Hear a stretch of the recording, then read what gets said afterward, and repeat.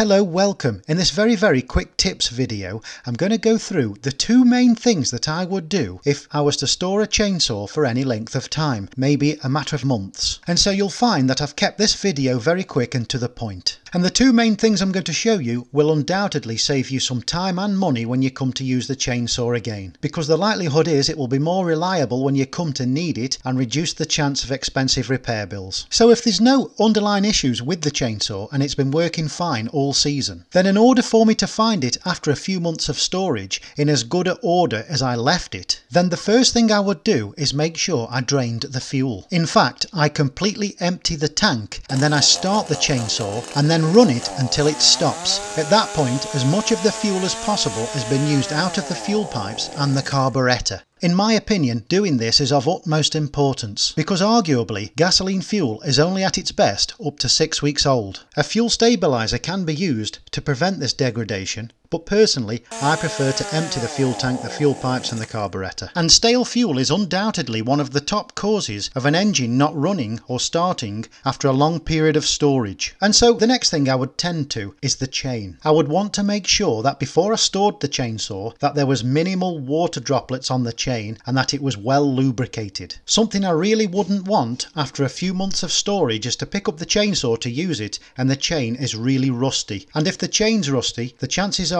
that the area of the bar that contacts it is also rusty and so is the drive sprocket. And this of course isn't best practice or usage of a chainsaw at any time. So what I do to prevent this again is to run the chainsaw with plenty of bar oil in it so that it coats the chain way before it goes in for storage. I know these two things I've mentioned here may not seem like much, it may not seem like rocket science, but if you were to store the chainsaw and you did face these problems when you come to use it again, and then took the chainsaw down to a dealership, a repair centre, to have the carburettor removed and cleaned, and then maybe the possibility of a new chain, or a chain sharpen and a clean, or a service by the dealership, believe me, it's much easier and better and cheaper to do what I've said to do, to drain the fuel, run the machine until the fuel pipes and carburettor are dry of fuel, whilst making sure that the chain and the groove of the bar that the chain runs down and the sprocket are well lubricated and free from damp or moisture. So they're my two most important. Of course, there are many things you could do with the chainsaw before it goes into storage. You could have a full service, a really deep thorough clean down and do all sorts of things. What I wanted to mention here is just two main important things. If they were the only two things I could do, then they are the two things I would do. That would help ensure as much as possible that my chainsaw chainsaw would run and operate well when I come to use it after several months of storage. But if you do want to give your chainsaw a full clean before you put it away, then I do have another step-by-step -step video on how I do this here on YouTube, so please do check that out and also get your free download by clicking in the link on that video. It's printable so you can take it in the workshop with you. And should your chainsaw not run after you've stored it for so many months or whenever, then please do check out my other video, my checklist video of the things to do if you have this problem. And again, if if you click on the link, you'll get a free download which you can print off and take into the workshop with you. And so at that, I want to thank you so much for watching this video and I'll be back soon. Thank you for watching.